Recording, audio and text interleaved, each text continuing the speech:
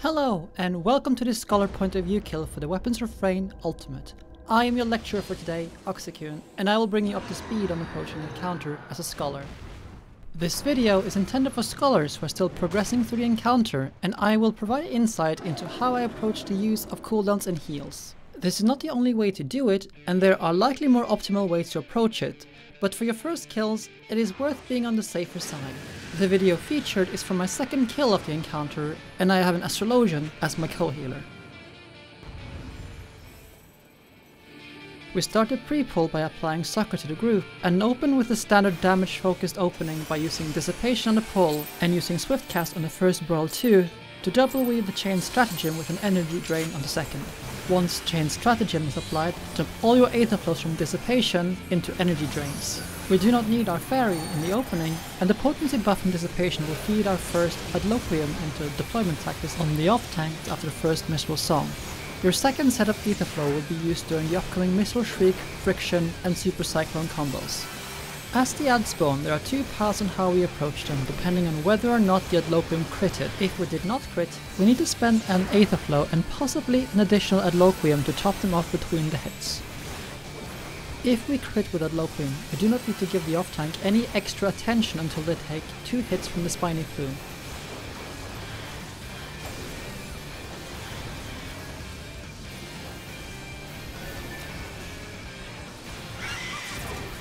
Top off the off-tank with an Adloquium after the first Feather Rain, weaving Fey Illumination, which will last through the Mistral Shriek and Friction. We also want to fit a succor between the Shriek and the first Friction, in addition to weaving both Lucid Dreaming and Whispering Dawn, in that order, somewhere between our succor and damage dealing casts. Use Succor and Indomitability before the second Friction lands to ensure those outside the bubble are topped. Depending on the mitigations, you may not need to apply a new succor before the first cleanse happens, but you'll want to adjust accordingly.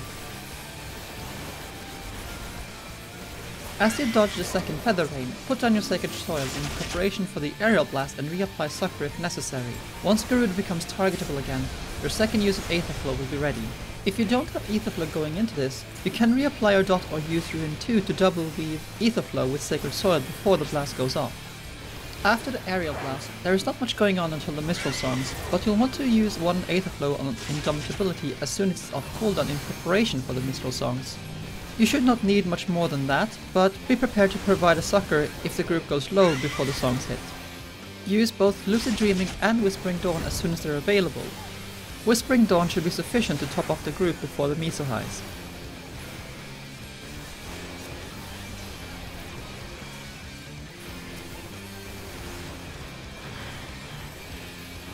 For the Mesohighs, you'll be using Sacred Soils to mitigate, and immediately as they go off, use Indomitability to recover from the blast. Garuda should be dead or close to at this point, and Aether Flow and Deployment Tactics should be coming off cooldown in preparation for Ifrit.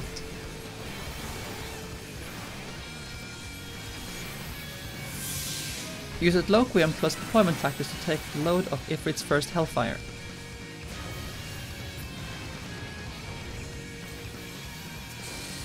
As soon as Ifrit becomes targetable, you have two global cooldowns before you need to shield the group.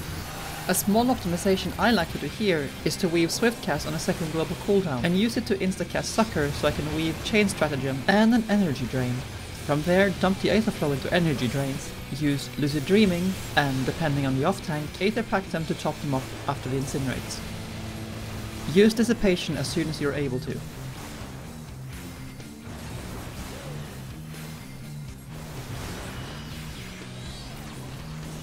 Apply Excogitation to the Searing Winds target. And place down Sacred Soil in the middle of the group when they start destroying the nails. If you are not the Searing Winds target, you can use your Indomitability to keep the group healthy.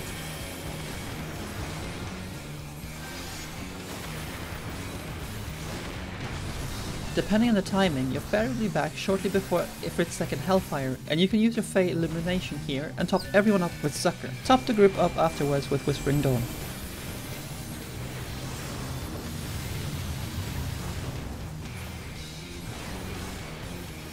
Place your fairy close to relative north so she can reach all party members. This is a good time to spend your fairy gauge up until the Crimson Cyclones.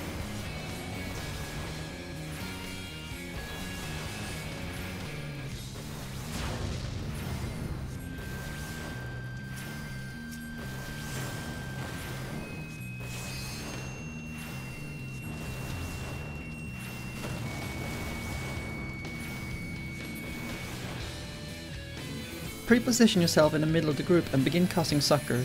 You want Succor to hit after Titan lands and gauge whether or not the group needs extra healing from Indomitability before Earthen Fury hits. Once Earthen Fury goes off, leave the topping of the group to your co-healer. No one is under any immediate threat of death, but do keep an eye on the main tank if they need to be chopped off between the Rockbuster Mountain Buster combo and adjust accordingly.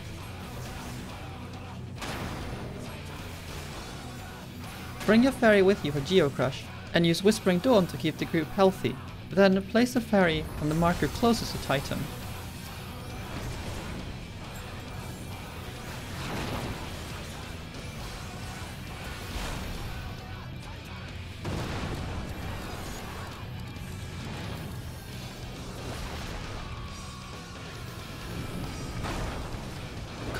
Jail and into the first tumults, there isn't a lot of healing to be done. Between yourself and your co-healer, you should only need to use an indomitability to keep the group healthy, and you can spend the rest of your aether flow on energy drains.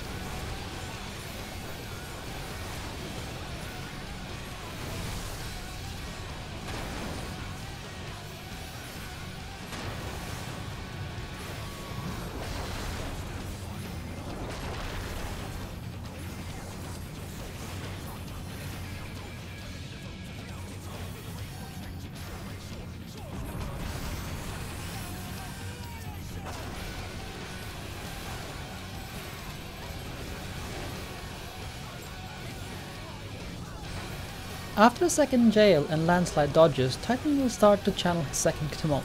During this you will have your fair use Fey Illumination, and from there gauge how much healing you will need. You should most likely only need to use one Indomitability to keep the group healthy, but be prepared in case something goes wrong.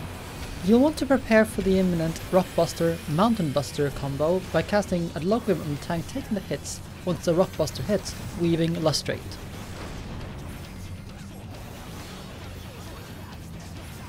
At this point, Titan should be close to dead, but there is one more Rock Mountain Buster combo to be aware of, so keep your wits about you.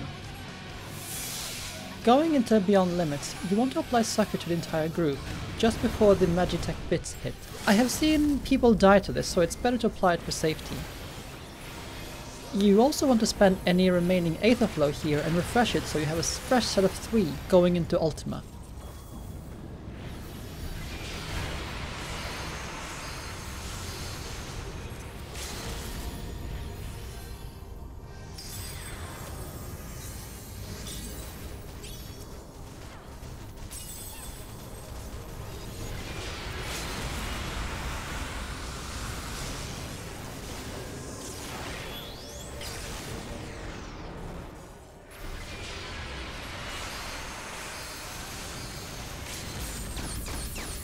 Shield the group up for Ultima, and heal up afterwards with emergency tactics, and use Whispering Dawn to regenerate anything that is left.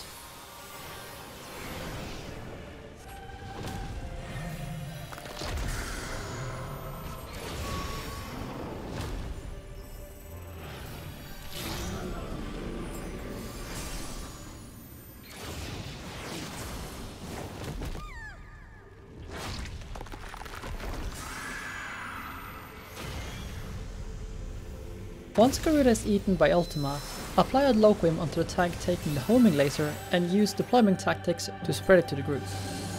Once Ultima becomes targetable, we are dumping all of our Aether Flow into energy drains, as we do not need them for this current phase. We also want to use our Dissipation here, as we don't need a fairy either. Do keep an eye on the group's health and use Indomitability if needed to keep them healthy after tank purge, but before the Aether Plasm explodes. Use Aetherflow once it is off cooldown and hold on to the charges. Remember to refresh Bio before Ultima disappears.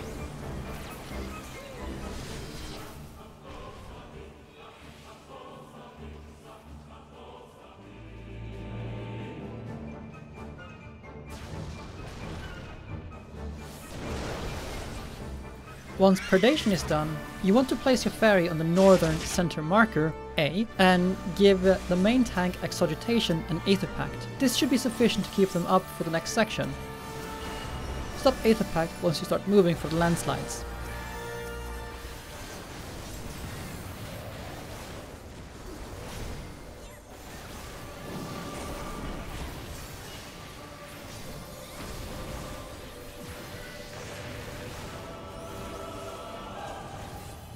Dodge the landslides, and position for the upcoming Aetherplasm and Tumults. For these tumults, you want to have your Fey Illumination and use Succors intermittently to deal with the ongoing damage. You can spend any remaining Aetherflow as you deem fit here, but you want to have 3 Aetherflow charges going into Annihilation. If you're using Indomitability, make sure to use it early as we need it for the start of Annihilation.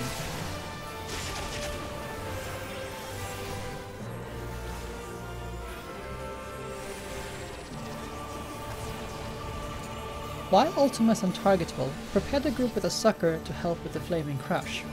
Dodge the weight of the land, and place down a Sacred Soil.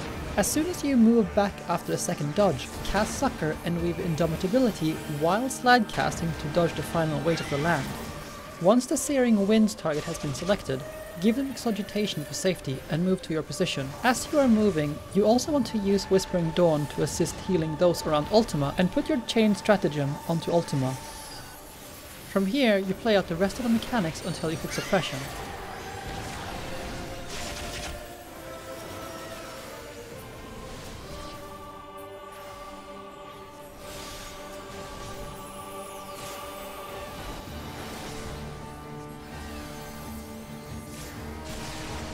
In preparation for suppression, you want to use your Adloquium deployment tactics combo onto a tank and play out suppression.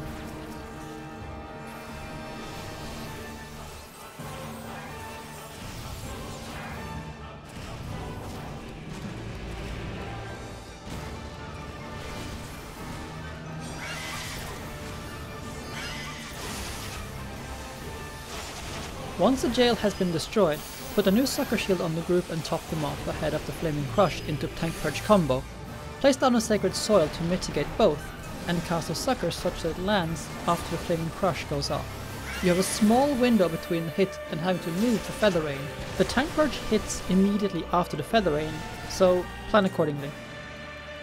Make sure to add another succor before Ultima goes off. After second Ultima, we want the group healthy as quickly as possible, but we do not want to use our Aetherflow stacks here. Use two succors where one is empowered by emergency tactics instead. As the aetheric boom goes off, run back to the initial position close to the center, so you are in range of the tanks, and start casting succor. It should go off just after the first pair of orbs explode onto your group. Immediately weave your Indomitability to top off everyone, and move a few steps north for the second pair of orbs, casting another succor. For Primal Roulette, you want to space out your Sacred Soils and Fey Illumination to cover all Aetherplasms and Primal Ultimates. Ideally, you want to use your Sacred Soil and Indomitability for the first explosion, Fey Illumination for the second, and another Sacred Soil and Indomitability combo for the third. Be mindful of your MP and keep your party healthy. In this stage, it is better to err on the side of caution and overheal the group. Use your Dissipation to get extra Aetherflow after you have used the Illumination,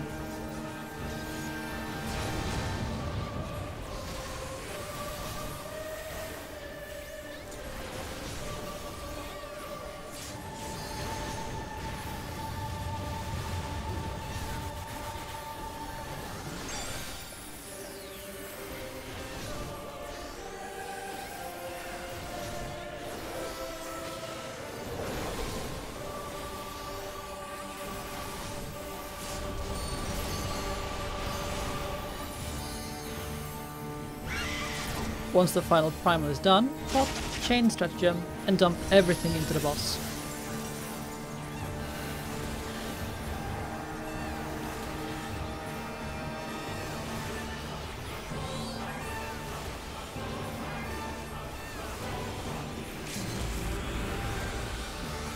Depending on where you are on the damage, make sure to refresh your bio before you get grabbed for the Citadel Siege.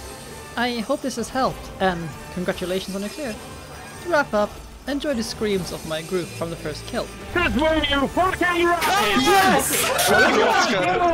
Welcome to the fucking Legends! Finally! Welcome to the fucking Legends! Either way, it was the last pull.